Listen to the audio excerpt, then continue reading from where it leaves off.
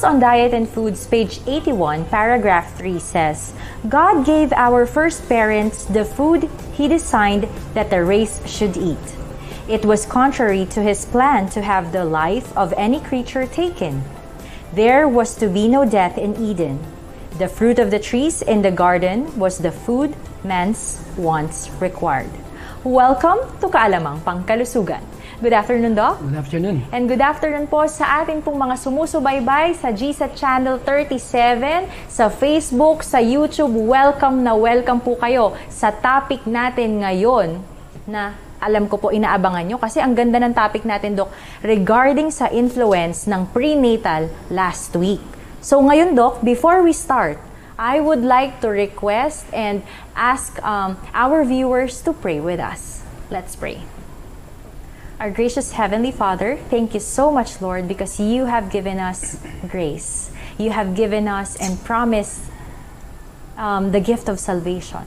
Thank you so much, Lord, for the presence of our viewers, the presence of those people who are seeking for information, for those people who are seeking for light, especially, Father, to become healthy and to follow the eight laws of health. Father, may the Holy Spirit be with us. May you grant us knowledge and wisdom, and may you be in our midst today. In Christ's holy name we pray. Amen. Amen. So, Doc, before, ito, ito Doc, ay talagang ang dami kasi nating mga viewers na nagsisend ng kanilang mga questions, di ba? Dahil gustong gusto nilang malaman, Doc, ano ba ito? Gladens, ano ba to? Kaya sisimulan po natin ang programang ito ngayon sa mga katanungan niyo po mga kaibigan. So kung meron pa po kayong mga questions ay isend niyo lamang po yan sa mga numbers po na magpa-flash po sa inyong screen or mag-comment po kayo dito po sa Kaalamang Pangkalusugan. So ito Doc, ang ating first question. Doc, nakakatulong po ba ang cinnamon sa pag uh, pagpapa yung pagpapagamot ng pre-diabetes? Actually, uh, pag sinabi nating cinnamon, meron tong certain properties na nakapagbibigay siya ng kung tawagan na anti-inflammatory uh, property na siyang nagiging uh, dahilan kung bakit yung mga matataas ang blood sugar ay napapababa niya. Mm-hmm. Pero hindi naman to gamot. Ito is mm-hmm. something for what you call that uh, prevention. Mm-hmm. Especially for those people who are uh, in that kind of, uh, what you call it, scenario or situation. Mm-hmm. Mm-hmm. Kaya isang bagay na maganda nga, maging well uh, knowledgeable tayo or familiar dito sa mga certain type of uh, what you call it natural medicine that will not give any kinds of uh, what you call it uh, side effect. Ang cinnamon bark actually umiinom din ako nito eh. Mm-hmm. At pwede rin ihalo ito sa ibang herb eh. Mm-hmm. Kasi meron siyang tinatawag na neutralizing material. Mm-hmm. Na kung sakali na over combination ka, pag merong tinatawag na cinnamon, ay natatanggal na yung tinatawag na maaaring maging over yung effect nung ininom mo. Di ba may mga certain uh, combinations na sumusobra ng tatlo o hanggang apat. Mm-hmm. Pag meron cinnamon bark, kumbaga sa ano, na tutulungan niya para yung effect nung strong effect niya mm-hmm. ay ma-regulate niya. Thank you so much, Doc. And alam niyo po ba sa atin pong mga manonood ay nais din po namin na ibigay po sa inyo yung information na alam niyo po ba na ito palang cinnamon ay second to the from ano second to the highest siya na mataas yung antioxidant. Yeah. Out of 26 different kinds of herbs, 'di ba, Doc? Na talagang pampabata yun, Dok. Ako talaga mas gusto ko pang bumata. And I'm sure marami yung mga, kay, mga kaibigan natin na nanonood na gusto rin ng pampabata. Kaya ito, inahalo ko to sa mga, kung tawagin nga ng mga natural uh, practitioner, ay inahalo ito sa mga concoction. Mm. Kunyari, meron kang red clover, meron kang PGA or Podiarco. Mm-hmm. Pag hinalo mo yung cinnamon bark, lalong maging strong yung kombinasyon na pinagsabi, mm-hmm. sa pinaghalo-halo mo. Kasi yung red clover, it's good for blood. Mm-hmm. It's good for the immune too. Nililinis niya yung blood natin. Mm-hmm. Ito namang podiarco ay ibinubus lalo niya yung immune system natin. Mm-hmm. Kaya pag meron ka mga nararamdaman sa katawan at pinagalo-halo mo yung mga certain material na napakaraming antioxidant, ay talagang malaking tulong kahit pa paano mm-hmm. para ma-prevent yung karamdaman. Ayan. Thank you so much, Doc. Ito pa, Doc. Ang katanungan, Doc, mula kay, ayan, babanggitin ko po yung pangalan. Kasi alam niyo po ba, Doc, ito, itong question niya na to, ay marami din ang nagtatanong at marami ang nakakaranas nito ngayon sa atin. So, ang question niya, Doc, ay mula kay Elju Tarona. Sabi niya, Doc, ano po ang sintomas ng panic attack? Di ba, Dok? Kasi syempre, di ba, yung iba parang, naku, may sipon ako. Naku, inuubo ako. Naku, ba- baka may COVID na ako. Ano kaya kapag ka ganun, Dok? Siyempre, sumasakit yung normal yun naman. Oo, Nahihirapan ko yung huminga. dibdib. Sumasakit yung dibdib. Mhm. Nagkakaroon ka ng, kung tawagin, parang nag-chill ka. Okay, Parang giniginaw ka, nanginginig. Naranasan ko yan eh. Na kung pagkamitan, nakala mo, ano na eh. Mhm. Eh siyempre, ganun talaga. Pangalawa, yung tinatawag na hirap kang, parang hirap ko huminga, difficulty breathing. Mhm. Tapos meron kang tinatawag na, yung, para bang nervous na ito eh. Mhm. Yung natatakot kang mamatay. Siyempre, ayaw mo pa. Mhm. Karamihan ng mga tao, sino ba naman? Ano ba normal sa tao yung takot mamatay? Pag ang isang tao hindi takot mamatay, hindi normal. Pag sinabi mo, "Hmm, okay lang sa akin. Pero ang tanong doon, meron ka pang asawa, meron ka pang pamilya, meron ka pang aktibidad na gagampanan. Kahit matanda na nga, yung iba pag na-hospital eh, talagang dinadala sa emergency, ayaw pa rin mamatay. Yun yung kasi mga normal. Pero pagka ikaw eh, para bang okay na sa'yo mamatay, ibig sabihin niyan, you are not, what you call that, in normal condition. Dapat ito, payuhan at mabigyan ng lunas. Kung tawag ni gamot, sa utak. Ang tawag dyan, brain disorder. Grabe, Dok, no? Parang, ang... Sa'yo nahihilo. Mm. Hmm. Pero karamihan ng nahihilo, hindi nila alam, tumataas ang blood pressure eh, part din yan eh. Kala lang nila eh, normal lang yun. Kaya maganda, meron tayong knowledge tungkol dito sa mga symptoms nito ng panic attack. Normally, common ito ngayon eh. Maraming mga tao, katulad ngayon, sarami ba naman ng mga walang trabaho eh. Kunyari, mawalan kang trabaho, may apartment kang binabayaran. Tapos may kuryente kang binabayaran.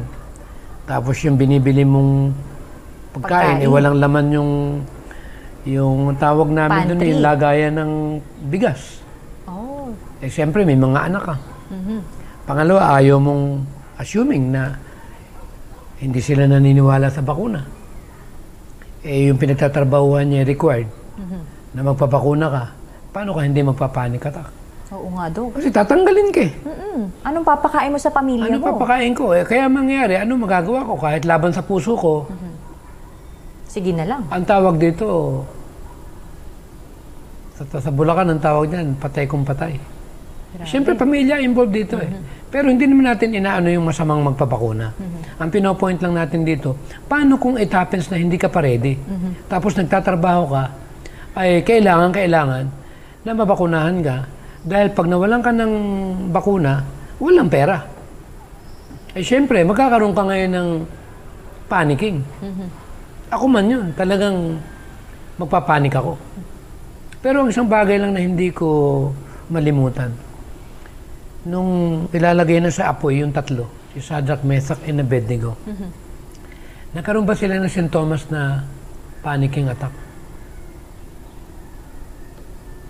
Meron ba silang ganong feeling? Yung tatlo. Wala, wala, Dok. Shadrach, Meshach, and Abednego, relax eh. Wala, oo nga, Dok. Talagang kalmado talaga sila nung time na yun. Si Daniel, nung bang inihulog sa lions din, pinagginutom talaga yung leon eh. Meron ba siyang panicking o panic attack? Wala din. Wala naman chest pain si ano eh. Oo. Hindi Ano? siya nakitaan Relax. ng panic so ang attack. tanong, ang point natin dito, kung may God tayo Mhm. at meron tayong tinatawag na direksyon, yung ating ah, kaalaman at pagtitiwala sa Panginoon, Mhm. dapat unang-una mawala sa atin yung panic attack. Yes. Kasi masama ito Mhm. sa kalusugan ng tao. Opo. Pwede kang mamatay dyan.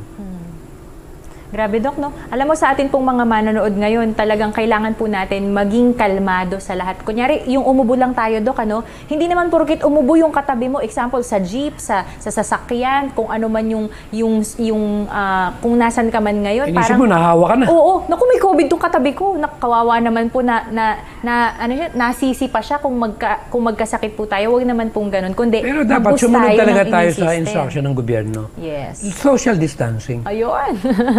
Kaya lang, Dok, paano naman makapag-date kapag may social distancing? Eh, o, di ba? I-check mo muna kung talagang say, safe. Yon. O kaya, magkaroon ka din ng, ng Ang cover. face- yes, yung face mask Oo. natin. Pero wag naman yung kahit nasa bahay ka, mag-isa ka lang, naka-face mask ka pa. Oo, kailangan din eh, natin paano ng na yung fresh oxygen air. mo? Baka Yes. naman yun ang ikamatay mo. Oo nga. Ay, syempre, may mga study din eh, na pag nagkulang ka ng oxygen, namamatayan tayo ng normal cells eh.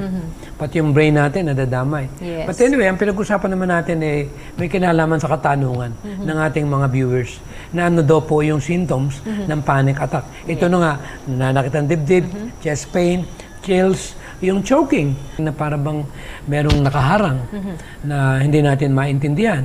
Tapos nahirapan tayong huminga, tapos nawawala na yung ating self-control para bang kahit ano na lang yung decision mo na hindi mo na muna pinag-aaralan kung okay yan.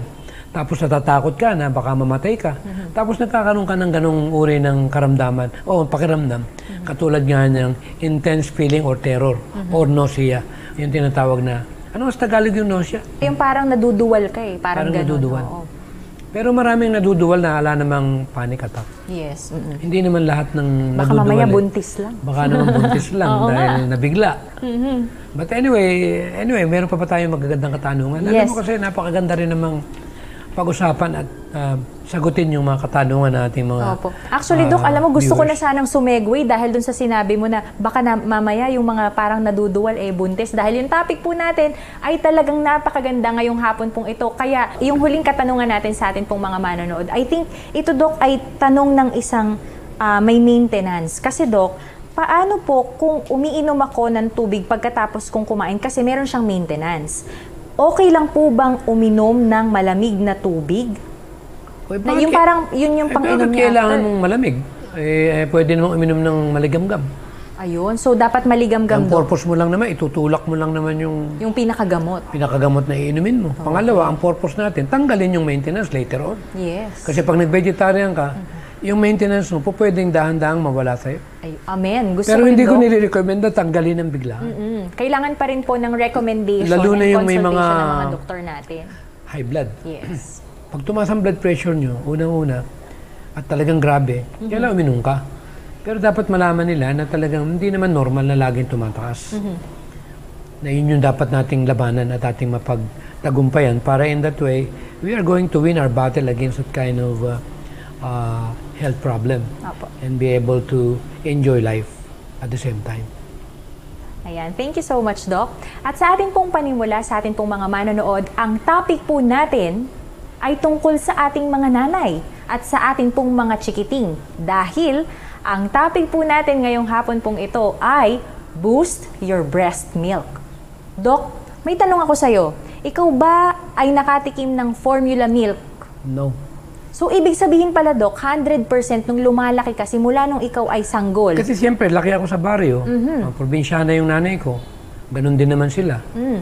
Eh, nung napag-aralan na ngayon ng siyensya, na yung palang gatas ng baka ay para sa baka. Yung baka, da, gatas ng pusa para sa pusa. Yung gatas ng kambing para sa kambing. Yung gatas ng kalabaw para sa kalabaw. Yung gatas ng ina para sa anak niya. Yes. Eh bakit yung gatas ng baka Ipapainom. ginagamit painom sa anak nila? Kaya nagkakaroon ng rapid maturation. Kasi heavy ang protein ng gatas ng baka. Hindi katulad ng gatas ng ina, neutralized na siya. Yes. Talagang dahan-dahan sang ayon dun sa tinatawag na pagkakadesign ng Panginoon sa magulang o sa ina na nagbuntis para ipadede sa anak niya. Kaya kung tatanungin ako, eh, mas maganda yung sa nanay niya. Yon, yung breast milk. Ayan. So, Doc, ah, nais, din po, nais po namin na ibahagi sa inyo ang Nursing and Healthcare International Jour- Journal noong July 15, 2017. Sabi po dyan, breast milk is not just a food for babies. It is a living fluid which protects a baby against infections. Breast milk is matchless for the neonates as it is help her grow and develop during first years of life. Breastfeeding is the only simple intervention that can prevent a large proportion of neonatal mortality and morbidity. So, Dok, nakita natin, ang ganda nung pinaka ah, aral na to, yung pinaka-article na to, kasi sinabi talaga dito na yung breast milk, mga kaibigan, yun talaga yung pagkain ng babies. Eh, common sense na lang yan. Eh. Ano ba naman Totoo? Dok. Eh, siyempre, magulang ka. Siyempre, nag-anak ka. Siyempre, saan mo pakukunin ng pagkain yung anak mo? Pangalawa, karamihan naman ng gatas na nabibili ngayon, homogenized na yan, pasteurized pa yan. So, ngayon ang point, bakit kailangan nating pag-usapan ito? Dahil marami yung nadadala ng modernong mundo. Yes.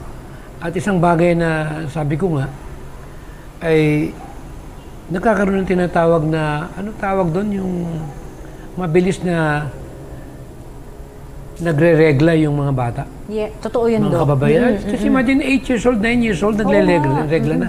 Eh kasi nalalagyan nga nila ng, I'm sorry, yung ah, bovine growth hormone. Lalo-lalo na yung mga baka para makapag-lactate sila. Yes. Tapos yun, dahil lang sa loaded hormone yung yung binili ng gatas. Dahil marami naman tayong mababasa tungkol dito.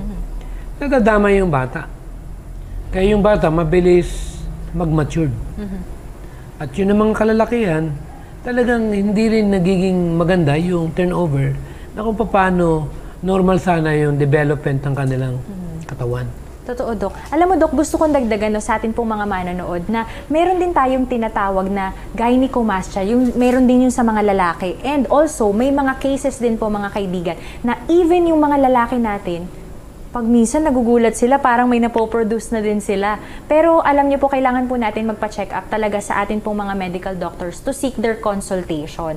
And also, gusto din po natin na ipagpatuloy itong binabasa natin regarding po dito sa breast milk. It is the first fundamental right of every child. Naku, karapatan pala talaga natin yung dok, no?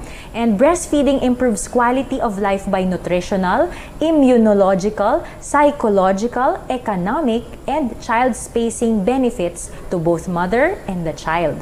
Exclusive breastfeeding is obligatory for 6 months of life. So dapat pala, Dok, for the first 6 months, kailangan talagang breastfeeding ang isang baby, ang isang sanggol para po sa ating mga bagong ina. Okay? And also, ang sabi po dito ay Sustained breastfeeding for 2 years or beyond along with complementary feeding. Ibig sabihin yung kumakain, pwede na siya ng patatas, yung may kasama na siyang mga gulay, kasabay po nung breastfeeding. So napakaganda ano dong na talagang po, babalik at babalik Kaya alam tayo mo, sa minsan nalulungkot original. ako dun sa mga naging ina na sasabihin nila na wala silang tinatawag na Breast milk, oo. na breast milk. Pero ang point ko, kung alam nila yung tinatawag na kahalagahan nito, Mm-hmm. saka yung nutritional side, kung ano yung tamang nutrients Mm-hmm. na nagbibigay ng mayaman sa milk Yes. na pinuproduce ng nanay, may iwasan. Pero karamihan, ang problema kasi, lalo-lalo sa mga modern young people of today, especially yung mga new mother na ito, mga Yes. bagong ina, Opo. ng mga kabataan pa, para bang ayaw nilang mawala yung figure nila.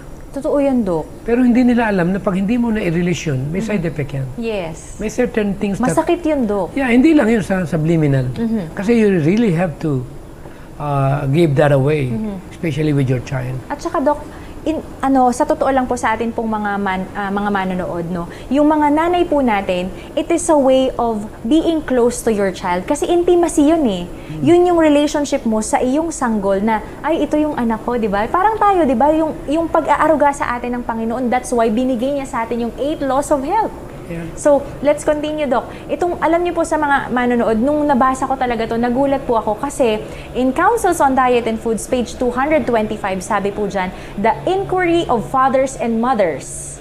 Andaan po natin, fathers and mothers, not only mother, ano, Doc, should be, what shall we do unto the child that shall be born unto us? Dapat yun talaga yung tanong, no? Ano yung gagawin natin dito sa anak na ibinigay sa atin ng Panginoon? We have brought before the reader what God has said concerning the course of the mother before the birth of her children. But this is not all.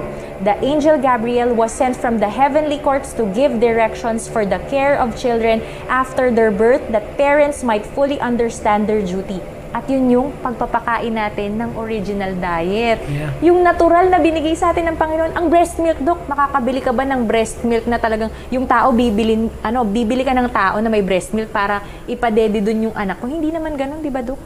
Kaya napakahirap talaga no sa atin pong mga manonood. And also, Dok, yung pag-uusapan din po kasi natin, yung makakatulong sa atin pong mga nanay, kung paano sila makakapag-produce pa nung kanila pong gatas na maibibigay nila na healthy dun sa kanila pong mga anak. Kasi minsan, Dok, ang problema, konting, ay, teka muna, walang lumabas na gatas. Ay, teka muna, parang naka tatlong araw na ako, naka isang buwan na, ganyan-ganyan. Pag minsan, ang problema po mga kaibigan, hindi yung pagla yung paglatch nung ano nung nung bata, hindi yung posisyon. Minsan ang problema din po kung ano ba yung ating kinakain. Kaya Doc, yun yung pag-uusapan natin ngayong hapon pong ito.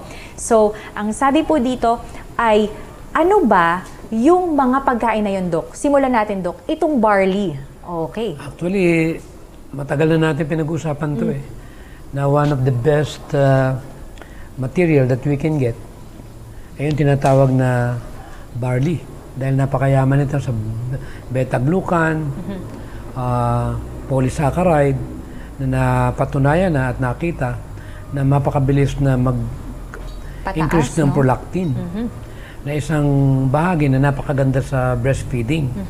Kaya nga yung, pati yung wheatgrass, alfalfa, Yes. halos similar yung kanilang mga material na nakukuha dyan. Kaya pag binigyan ng tinatawag na barley soup, malaking tulong yan sa mga Oo, nanay. yung mga sabaw-sabaw, yes. Yeah. Actually sa Philippines, ang dami na yun. Yung malunggay natin eh, napag-aralan na. Yung prolactin na yun eh, isang matulong din yun sa mga pang parami ng gatas eh. Mhm, Totoo, Eh, lalo pa yung ating mga iba mga gulay pa. Mm. Yeah, oatmeal. Yan. Malaking tulong din yan. Kaya lang, sa halip na kumain ng oatmeal, ang kinakain nila, alam nyo ba, yung mga chorizo, hotdog, Totoo, Doc. itong mga mga instant na, yung mga, processed instant foods. na kung yes. ano-anong mga pagkain na wala namang makukunan ng ganung uri ng nutrients or sustansya. Kaya we are actually uh, educating in and giving these kinds of knowledge or information so that we'll be able to improve these kinds of a very uh, exciting and interesting subject, especially breastfeeding sa mga gustong maging nanay. Ayun. Kaya yung topic natin noong nakaraan, gusto mo maging nanay, dapat alaman mo rin mo kung anong pagkain na maganda para sa anak mo. Yes. Pwede ba yung gusto mo lang yung masiyahan ka? Pero ang totoo lang, pag nandun na, sa sarili mo pa rin yung susundin mo. Alam niyo problema ng mga magulang? Ano, Doc? Ganito yan. Ang mga nanay, pag pinapakain na yung bata, kunyari, nagkaroon na ng konting ipin. Kung ano yung timpla niya, yun yung timpla na pinapakain niya sa anak niya. Actually, Totoo ang mga Dok. bata, wala pang alam yan sa timpla. Pag tinuruan mong kumain ng maalat, hahanapin agad yan. Hindi mo na mapipigil yan. Papakainin mo yun ng junk food, ng matatamis, hahanapin yan. Eh Yes. pero kung pakainin mo ng kung ano yung pinakain, papaya, wag mong timplahan. Saging, pakain mo. Gulay, pakain mo. Wag mong alatan. Normal. Believe me, ala silang pakialam doon. Kaya nga ang magulang, dapat siya na kung tayo man eh, adulterated na yung panlasa natin, maalat na yung ating taste natin, sobrang mataas yung tamis na ating ah, gustong timpla, eh wag nating introduce sa ating mga anak. Opo. Alam mo, Dok, tinamaan ako dun sa sinabi mo na dapat paghandaan nyo, mga nanay, paghandaan nyo, mga dalaga, kasi tayo yung mag-aakay doon sa Kaya- nine months. Kaya Naku, para nine nakita ko, months. kaya siguro hanggang ngayon, wala ka pang asawa, siguro baka hindi ka pa nga ready na ah, bantayan at alagaan ang iyong anak. Ngayon siguro, dahil nabasa mo na lahat ito, total, na well-versed ka na, Mm-hmm. tingin ko naman ngayon, hinug na hinug ka na. Ayun, thank you, Dok, ha. Pero, Dok, baka naman pwedeng sabihin din natin na baka naman gusto ka pang gamitin sa ministry. Aba, pwede. oh, pwede, di ba? pwede, Yan, yeah, yun. yeah. Ayan. So, Pero itutuloy sabi nga natin. Mm. eh, kung kaya mo daw sa huling araw na mapanatili na single ka, Mm. maganda. Totoo, Dok. Pero kung hindi mo kaya, Mm-hmm. sabi naman ng Panginoon, eh pwede namang ikaw yung mag-asawa. Mm-hmm. So yun yung point na pagpipilian mo. Kung ang pag-aasawa mo ay makapagpapalakas sa ministry mo, go ahead. Yes. Pero kung ikaw naman yung ah, nakita mo na mas magiging epektibo ka at talaga magagamit mo yung panahon mo sa Panginoon na ikaw'y dalaga, huwag ka nang mag-asawa. Amen. Okay. Thank you so much, Dok. Baka ma-hotspot na naman ako, Dok. Yeah, Itutuloy na po natin mga kaibigan. Dok, ano ba itong tinatawag natin? Alam mo, yung problema Sige, ng Doc. Pilipinas, naalala ko nung Global 2000, Hmm, bakit, Dok? grabe ito. Nagsimula yan sa computer, ano, yung tawag doon, yung collapse ng computer. Oh. Noong 2000. Ang tawag, Global 2000 ba yun? Ang dami nag-asawa. Dahil akala nila matatapos ng mundo. Ay, yes. Oo nga, Alam ba sa ngayon doon sa mga nagsipag-asawa ng Global 2000 na yun? Karamihan, fail.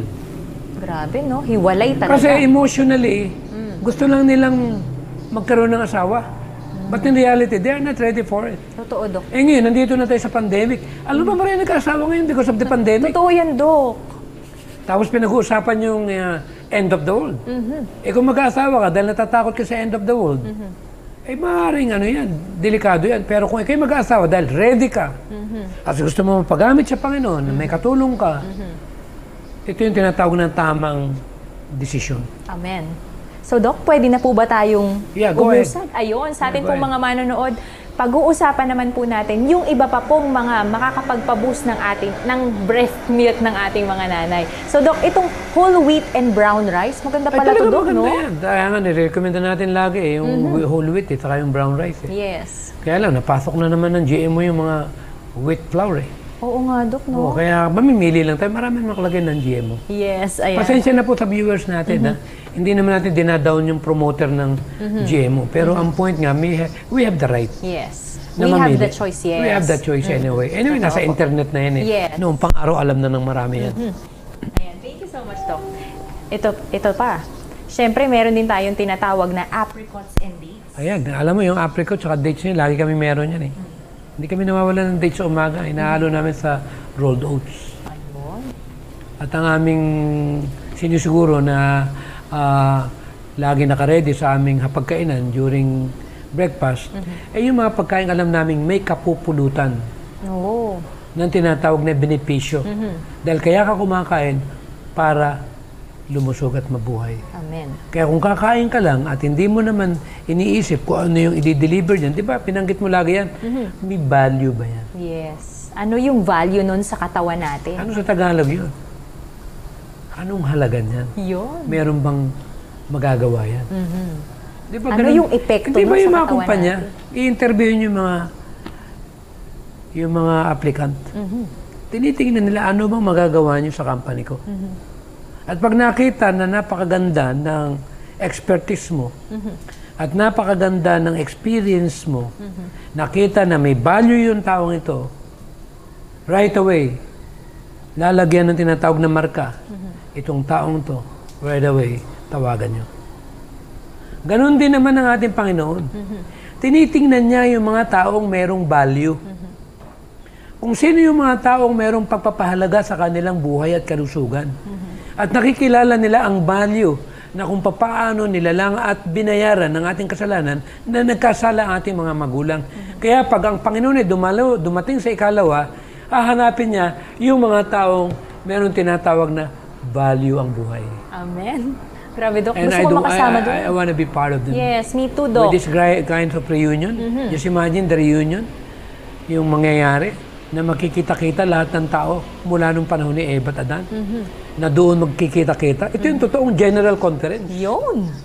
Ikaw ba, Gladys, ayaw mong masama ro? Gusto ko, Dok, naman. Eh, pag gusto mong masama, eh talagang dapat Tuloy-tuloy. tuloy-tuloy yung ating programa. Yes, At amen. pangalawa ay, ah, ito yung panahon talaga na kumbaga sa last calling, Mm-hmm. yung amnesty. Mm. While God is still in the ah, heavenly sanctuary, Mm-hmm. God actually is ah, ah, begging and ah, ah, giving ah, all the effort and time, especially the Holy Angel, the Mm-hmm. Holy Spirit, to touch the heart of those people who are waiting Mm-hmm. Yes. Mm-hmm. for His near coming.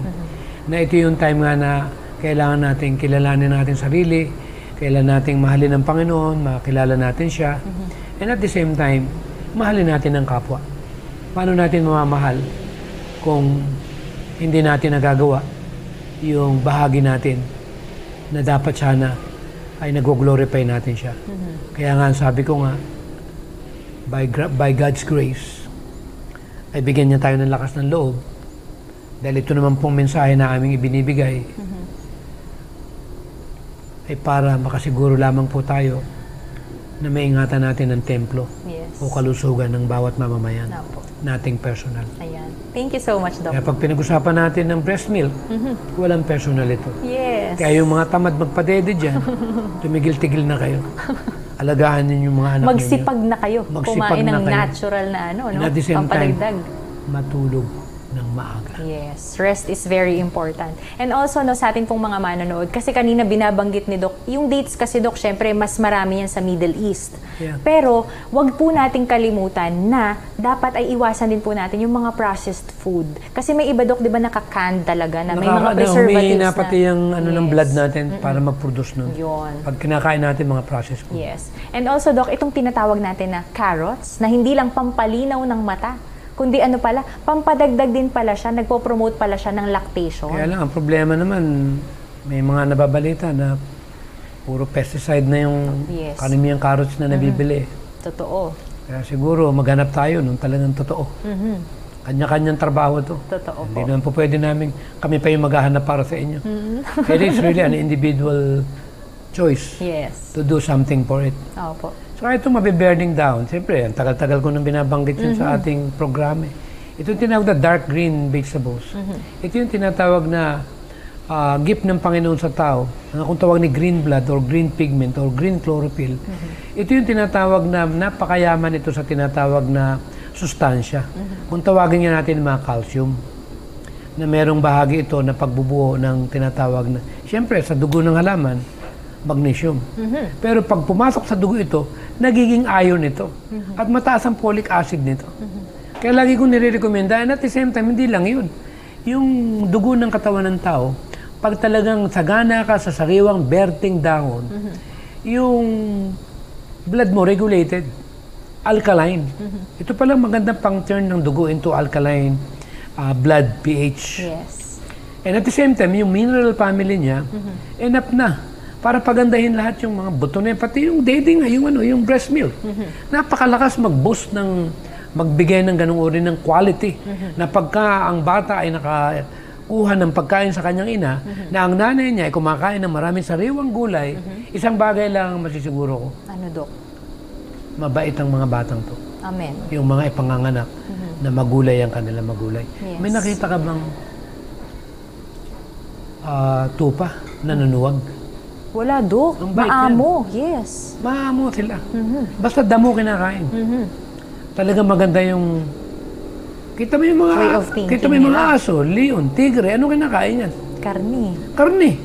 Kaya tingnan na lang natin. Doon sa kaya nga, yung Genesis 1.29, natin Yes. Mm-hmm. pinag-aralan nung nakaraan. Anyway, pag pinag-usapan natin yung phytoestrogen or phyto ah, ah, material, Mm-hmm. ito yung tinatawag na napakaganda sa mga magulang na nagpapadede. Yes. Kaya for example, binanggit ko sa iyo kanina, kunyari, ala kang pera, ala kang kakayanang bumili ng barley o alpalpa. Eh bakit? May malunggay naman, may talbos ng kamote. Totoo, Doc. O ebilin mo sa pinya para mab- mabago yung lasa niya. Tama. Alam mo yung sekreto ko? Para yung tinatawag na taste bud ng malunggay. Kasi hindi na pwedeng mataas, marami yan eh. Yes. Dahil ang taas nga ng chemical content niya when it comes to the what Kaya call it, ihalo na nutritional value. Kaya kukuha lang ako ng konti, siguro mga dalawa, tatlong kutsara na dahon ha. Ihalo ko yun sa pinyan juice. Ipabe-blend ko yan. At para gumanda yung kombinasyon niya, pinalalagyan ko ng pipino at ginger para mabilis yung absorption. Bago ko mag-basketball, umiinom ako nito. Naku, bago na naman niya na, na pang, pang-inom natin, Doc. Hindi bago, matagal ko nang ginagawa yan. Hindi, ibig ko sabihin, para sa atin pong mga manonood. Yeah, sa kanila, diba? Yes. bago. Oo. Pero sa atin, Mm-mm. eh, hindi, na. Yes. Pero Usual ini-enjoy, na ini-enjoy natin. But anyway, ang mura lang naman ng pinya eh. Mura lang naman ng malunggay. Yung isang pepino. Pangalawa, maganda rin to sa mga kalalakihan. Bakit, Doc? Ay talagang energy. Iba. Ayun, Oo, naman yun talaga. yung- Kaya yung mga lalaki, mga nangihina dyan. Kaya inom kayo ng mga Energy drink. energy drink na mga kung ano-ano mga sinasabing maganda, ang dahil side effect. Oo. Tigilan na natin yung mga yan. Manong, bumalik na tayo sa natural. yan ang aking advocacy sa ating mga kababayan. Go back with the natural way so that we don't need to worry about developing any kinds of health problem. As long as we are following the eight laws of health, we got nothing to worry. Amen. Because what? Because God is the one who provided it. Amen. Grabe, ang sarap ng dok, no? Parang gusto ko na tuloy uminom ngayon ng juice ngayon. Eh, uminom ko nga lang ng mga, kunyari, tinatamad kang ngumuya. Eh, ju- eh, blend mo lang Yung yung, kahit isang pakwan. bas, oo. Yung pakwan. Eh, napakaganda ng sustansya ng pakwan natin. Yes. Talagang yung local na local na pakwan natin. Ayun, ito pa dok, yung tinatawag natin na sesame seeds. O, di ba yung Ay, linga? Napakaganda ng sesame seed. Alam mo, pampatalino yan. O, di ba? Alam mo, yung mga hudyo, kaya matatalino yan. Mm. Alam mo yung mana. Kung pag-aaralan mo, similar sa ses- seeds. pala, yung pinaka-material na nilagay ng Panginoon. Mm-hmm. Kaya pala kung gusto nating dumami yung gatas ng kababayan, Mm-hmm. tatalino na yung anak mo, tatalino pa rin yung ina niya. Yun ang maganda. Eh pero ang tanong, bagaman nababanggit natin, Mm-hmm. pero may mga taong ano na, tawag, huwag naman sanang ganun yung maging pananaw nila. Maraming mga tao, oo, oo, Mm-hmm. Na lang okay. ng oo. Oo, pero pagdating sa actual, Mahina. hindi nila may apply. Mm-mm. Eh ako naman, pag nakakita ko nun, nadinig ko'y ganun, Mm-mm. oh, right away. Sabi ko, Mrs., kuha nun. Inom na tayo nun. Kasi sayang yung impormasyon. Yes, opo. Sayang. Actually, ang truth kasi, magiging truth lang yan, o wisdom. Pag yung truth ay ginawa mo. And that's wisdom. Yes. Yun yung sinabi ni, ano, ni Solomon. Yes. Wisdom lang isang bagay. Kunyari, nakapakinig ka ng magandang lecture dito sa kaalaman pangkalusugan. Tapos, baliwala sa'yo. Hindi mo naman ginagampanan. Hindi mo naman ginagawa. Kahit tama yung napakinggan mo, hindi wisdom ang tawag dyan. Kasi walang application na Wala kang benefit eh. Wala kang Yes. ginagawang participation kung ano yung benefit nung hindi mo na-enjoy siya. Mhm. Ito, Dok, yung kaninang sinasabi mo na hari ng mga prutas. Ayan. So, yun, napakaganda. Ano po, sa ating pong mga manonood. Kasi talagang, yung, kasi pag minsan, Dok, ito ay, yung hilaw na papaya ay hinahalo natin sa tinola. Di ba? Masarap yun. At yung hinog naman, yun naman yung pwede nating gawing fruit juice or smoothie natin. Di ba? Ang sarap nga nun, Dok, no? Grabe. Yun Mating- nga lang na papaya, nalaman ko. Mm. Meron palang antiviral properties yan. Yes. Takot pala ang virus dyan. Mhm. Lalo na pag hilaw, eh ginus mo. Kaya pag kumakain ka ng papaya, takot na takot yung mga, oh, lumayo ka! Ay, yun yung alam natin eh. So, yun yung point na nandito lang sa ating katabi yung mga gamot na pagkain. Amen. Ayan. Thank you so much po, Doc. And sa atin din pong mga manonood, nun, ngayon talagang nalaman na natin, especially sa atin pong mga nanay na nagbe-breastfeed, ay talagang napakarami po palang mga natural na pwede nating pam, pw- na pwede nating inumin or i-take or kainin natin para madagdagan yung ating supply ng milk or kung nahihirapan po kayo, di ba? And also, Doc, nais din po nating ibahagi sa atin pong mga manonood sa page 226 ng Councils on Diet and Foods. The best food for the infant is the food that nature provides. Of this, it should not be needlessly deprived. It is a heartless thing for a mother for the sake of convenience or social enjoyment, to seek to free herself from the tender office of nursing her little one. So, Dok, napakaganda nun, no? Alam mo ang tawag ko doon sa mga ganong ina? Hindi mahal ang anak. Grabe. There's no love. Once you love your baby, you will do everything. Kung ano yung mabibigay mong maganda sa anak mo. Yes. Ang tawag ko doon, napakakawawang mga bata. Yung lumabas sa mundo na nagkaroon ng ina na walang pagmamahal. Totoo, Dok.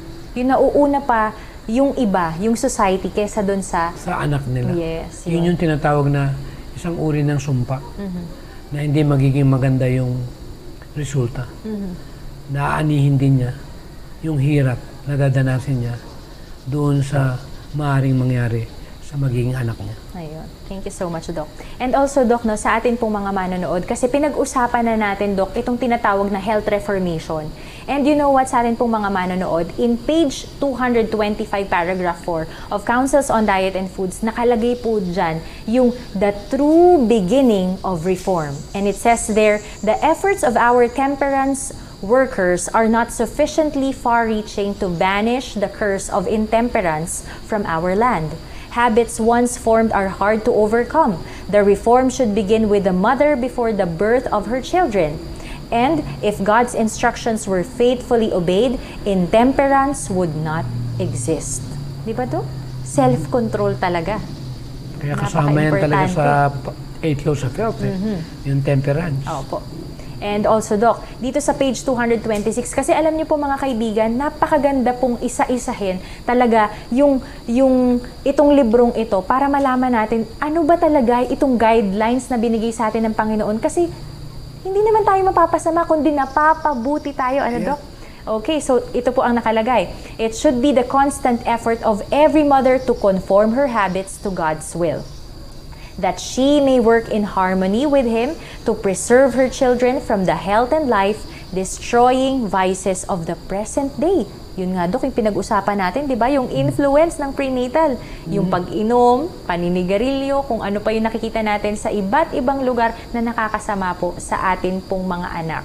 And also, let mothers place themselves without delay in right relations to their Creator that they may by his assisting grace build around their children a bulwark against dissipation and intemperance. If mothers would but follow such a course, they might see their children, like the youthful Daniel, ang ganda doc, reach a high standard in moral and intellectual attainments, becoming a blessing to society and an honor to their Creator. Amen. Diba, Doc? Ito talaga yung totoong reformation.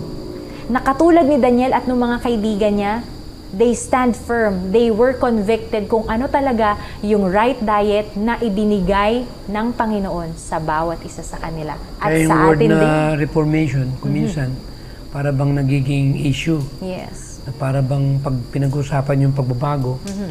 para bang iniisip nila na kakaiba yung meaning nito. Mm-hmm. But in real- reality, ito yung kailangan-kailangan natin ngayon. Alam mo, Gladys, ah, isang bagay lang yung pinsasalamatan ko. Mm. Siyempre, born Adventist ako. Mm-hmm. Noong naramdaman ko yung value ng pagiging Adventist ko, Mm-hmm. nasa States na ako eh. O hindi pa nagkasakit yung misis ko eh. At doon lang ako natutong magbasa ng sarili nating libro. Yung mga health books ng ating propetisa. At nung nabasa ko lahat ito, yun yung nagbigay sa akin ng tinatawag na kakaibang na hindi ko naramdaman nung bata pa ako. Naramdaman ko na yung religion na pinamana ng magulang ko, bagaman hindi tayo may ililigtas ng reliyon, ay nalagay ako sa isang pulutong ng mga tao na kung hindi siguro Seventh-day Adventist ang parents ko, baka naninigarilyo ako.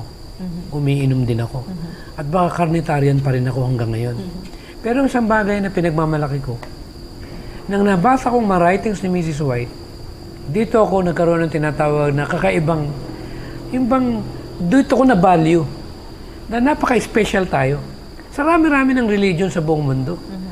Ang magulang ko, ito yung ipinamana sa amin na iglesia o isang uri ng pananampalataya na nagbigay ng isang liwanag na habang tinitingnan ko yung bahagi ng pangkalusugan, dito ko napatunayan na kakaibang kakaiba dahil ang sumulat na isang babae na walang pinag-aralan at yung kanyang mga propesiya, lalo na sa Great Controversy, sabi ko nga sa sarili ko, Lord, salamat po.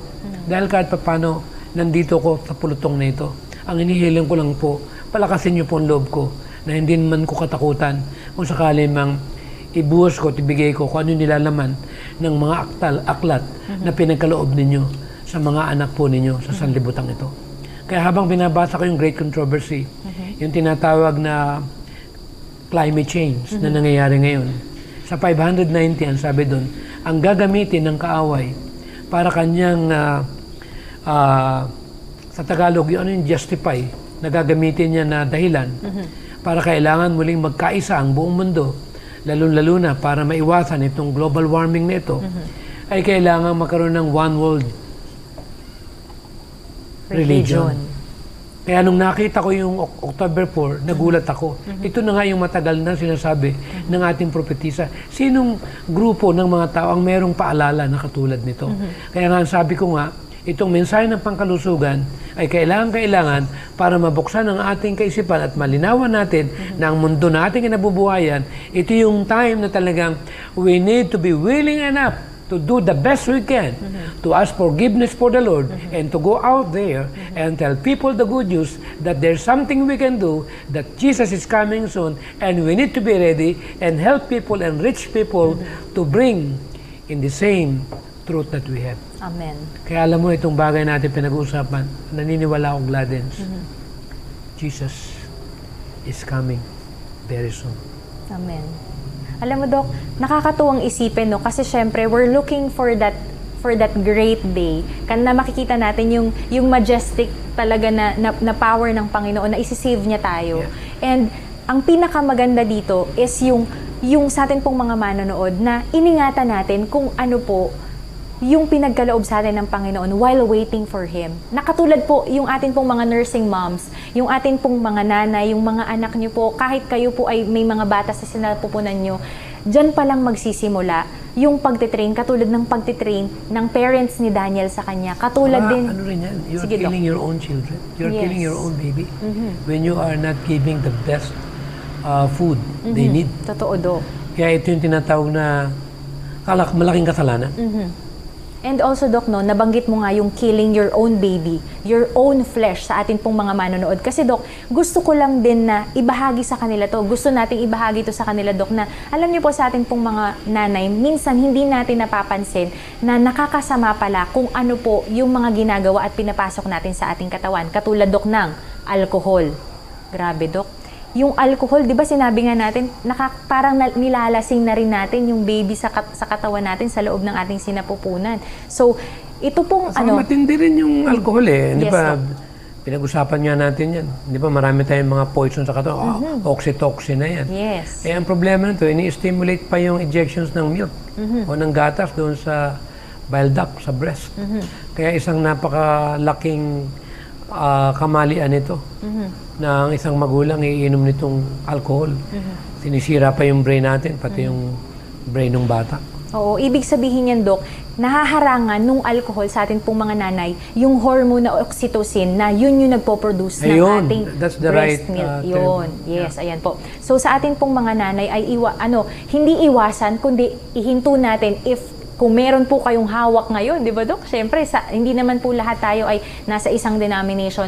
But I hope and I pray na mas isipin po natin yung ikagaganda at ikalulusog ng, ba, ng, ng bata na nasa sinapupunan natin more than kung ano yung sinasabi ng mind mo na, ay masarap to, ay click ito sa mga kaibigan ko, ay ina ko sa mga kabarkada ko. Eh hindi mo alam, kawawa po yung baby na daladala mo for nine months. Di ba Dok? Kaya hindi biro itong ano natin to. Eh, wala tayo magagawa. Time to move forward. Yes. And Not to look back. Mhm. And also, Dok, itong tinatawag natin na parsley. Alam mo ba, Dok, nagulat din ako sa atin pong mga manonood kasi alam niyo po ba na ito palang parsley ay pangpaihi siya. Maganda siya kasi natural siya, Dok. Kaya lang, ang nanay, kailangan po niya na stay, dehyd- ay, stay na hydrated. So, kapag kumain tayo kasi may pagkain dok na sa, sa India dok may pagkain sila na na na puro parsley yung isang dish nila doon. And then na nagulat ako dok kasi kapag pala kumain tayo ng maraming parsley magiging ano tayo ihi tayo ng ihi eh ang nanay di ba ihi na ng ihi tips na masasabi ko na talagang napakalaking tulong. Katulad nga itong isang tips na naman natin ito. Mm. Opo. Katulad ng peppermint or menthol, di ba? Yes. Mm-hmm. Maraming nabibili ng mga candy na may timpla. Oo. Na kung tawagin ay Akala- peppermint or menthol. yes akala Pero natin healthy yun Yung pala, nakapagpapababa ito ng production ng, ano, ng milk ng Yes. isang ina. Mhm. Kaya, iwas tayo sa mga candy na merong ganong uri ng ingredients. Opo. And also, ito naman yung pinaka-last doc na talagang nakaka-anti-lactogenic or nakakapigil siya nung ating milk production ay yung chasteberry. Actually, Dok, ito ay pang, panggamot siya dun sa mga premenstrual syndrome, yung kunyari magkakaroon ka pa lang ng menstruation for that Nahihirap- month. Yes. Nahihirapan ka. Mm. So, ito, Dok, yung ah, bali madalas siyang nire-recommend doon sa mga doon sa mga tao or sa mga nanay na may, yung sumasakit yung dibdib dahil meron meron silang tinatawag na painful or swelling na paglaki ng dibdib dahil nga puno ng gatas. So kailangan po natin na iwasan din yung chasteberry dahil ini-inhibit nito, pinipigilan nito yung ano, yung secretion ng prolactin which is yung sa breast pa din, yung sa gatas Ay, pa rin lista nila yan. Kasi alam mo Yes. naman, kuminsan baka malimutan nyo. Opo. mm Ayan, so yung alcohol, yung parsley natin na pampaihi, Ay, sugar yung din, na, peppermint, nalimutan yes. na sabihin yung sugar. Oo, eh. yung sugar din. Number one din po na nagpapahina ng ano ng gatas yan. Mm. Kasi lumalapot yung ating Lumalapot. Mm-hmm. Opo, ayan lumalapot yung ating dugo. And also, nais din po namin ibahagi po sa inyo ang nakasulat po sa Councils on Diet and Foods page 228. Sabi po dyan, the character also of the child is more or less affected by the nature of the nourishment received from the mother. How important then that the mother, while nursing her infant, should preserve a happy state of mind, having the perfect control of her own spirit. By thus doing, the food of the child is not injured, and the calm, self possessed course the mother pursues in the treatment of her child has very much to do in molding the mind of the infant. If it is nervous and easily agitated, the mother's careful, unhurried manner will have a soothing and correcting influence, and the health of the infant can be very much improved. So talagang dok, ang laki talaga ng ng epekto ng nutrition or yung right yung right eating natin, yung right nutrition na pinapasok natin sa atin pong katawan, especially sa mga nanay. Ayun, Dok. So, grabe, Dok. Ang bilis na naman ng oras. Oo nga. But At- anyway, sana naman kahit paano itong maliit na bahagi natin tungkol Mhm. dito sa edukasyon ng pangkalusugan ay magkaroon ng puwang. Pag sinabing puwang, yung bang mabalyo. Mhm. Lagi namang yun ang tamang terminology. Yung mapahalagaan, mabalyo. Mhm. Dahil siyempre, ang amin naman pong mitiin, hindi naman para meron tayong patamaan, Mhm. kundi talagang mai-promote natin itong mensahe ng pangkalusugan na siyang magbibigay sa atin ng tunay na ah, kapayapaan, kaligayahan, na siyang kalooban ng Panginoon, na tayo magkaisa at magkaroon ng pagmamahalan na may pakita natin na walang personalan kundi ang tanging purpose nito ay maabot natin ang bawat kababayan natin na ngayon ay nasa banig ng curse ng karamdaman. Yes. And I'm encouraging each and every one of you, especially our beloved viewers who are uh, keep on uh, what you call it supporting our program, that there is something that we can do. We can possibly part of this program by just telling and sharing uh, to your neighbors and friends and families that there is a program, Paalam ang Pangkalusugan, who could probably give us some sort of uh, knowledge and idea on how to prevent disease Yes. and at the same time to be thankful and glorifying God for it. And I know that's not too late yet. While we are still alive, I am giving this kind of encouragement to all of you to keep going, not to look back.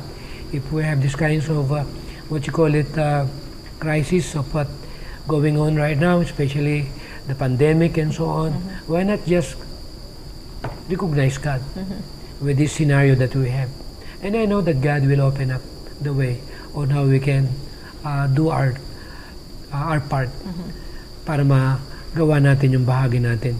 Kaya ako nagpapasalamat sa pagkakataong ito na kahit pa paano sa araw ng Sabado, sama-sama tayo at ang pinag-usapan natin kung paano natin tulungan at palusugin ang lahat nating kab- mga kababayan na kadugo at kapwa natin Pilipino. Amen. Thank you so much, Doc. And sa atin pong mga manonood ay nais din po namin na ibahagi, ah, nais din po namin na pasalamatan, lalo na Doc, ang dami nating mga nanay ngayon na nagpapasalamat sa maganda nga pong ah, impormasyon natin ngayon. Si Maricel Sal- Salomeo, si Alicia Rolioda Villanueva, si Mary Ann Fonte, si Melita Nipaldion. Ganon din po yung, syempre, hindi lang mga nanay, kundi may mga tatay din tayo. Katulad nila, ah, Jonathan Cadao, at syempre, ayan, si Miss Christy Pesiga nandito din. And also, um, yung nan, ah, ito, isang kaibigan ko din, Doc, na talagang, ano, talagang vegetarian din, Doc. Talaga nag-start na rin siya mag, na, na mag-vegetarian. And also, ang ganda, Doc, nung, nung impact sa kanya kasi buong sambahayan niya ay vegetarian. So, Amen. praise God. Ah, si Ate Amen. Roxanne Alpahando and family. Ayan. And also, si Mark Magbatas na vegetarian din. Maraming maraming salamat po sa inyo pong pagsubaybay. At kayo din po, pwede na po kayong mag-share talaga. I-share nyo yung program na to at i-share nyo rin yung experience nyo sa ibang tao being a vegetarian and following the eight laws of health. So sa atin pong pagtatapos ay nais po namin ipanalangin ang atin pong mga kaibigan na nag-send po ng kanila pong mga prayer request. Tayo po'y manalangin.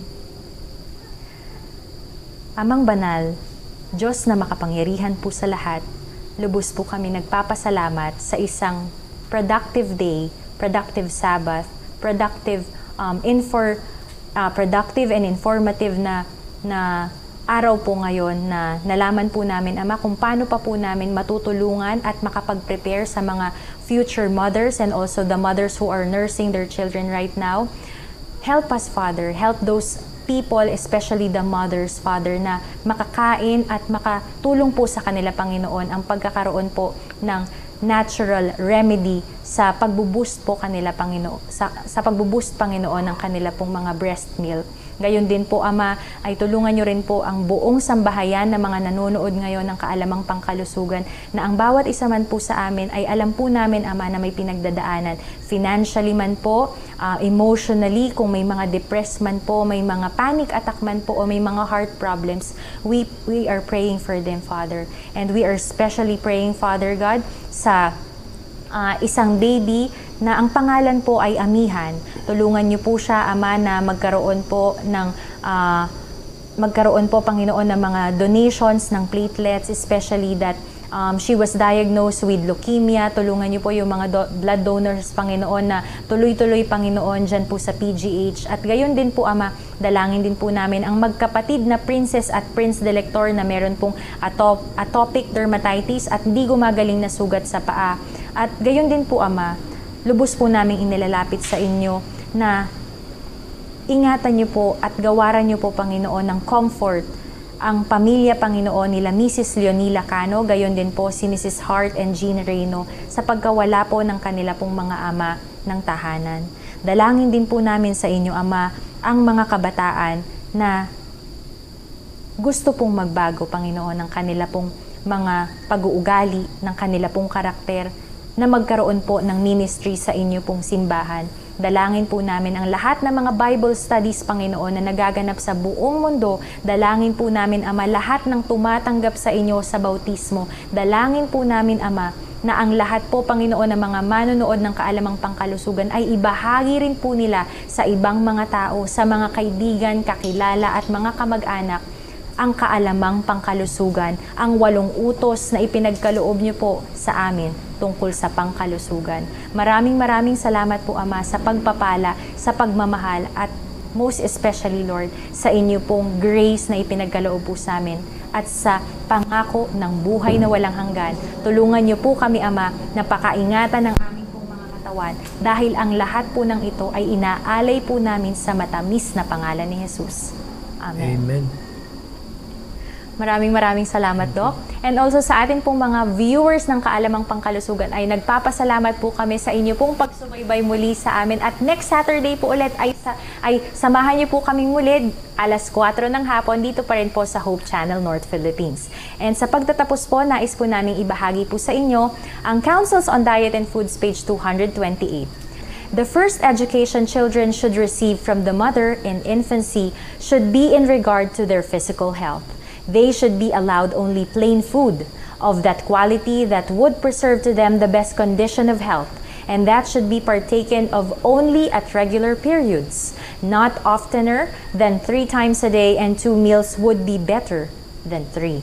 If children are disciplined aright, they will soon learn that they can receive nothing by crying or fretting. A judicious mother will act in training her children, not merely in regard to her own present comfort, but for their future good. And to this end, she will teach her children the important lesson of controlling the appetite and of self denial that they should eat, drink, and dress in reference to health. Amen. Again, this is Gladys Panuelos together with the naturopathic expert Dr. Tamateo for Kaalamang Kaalamang 棒高的树干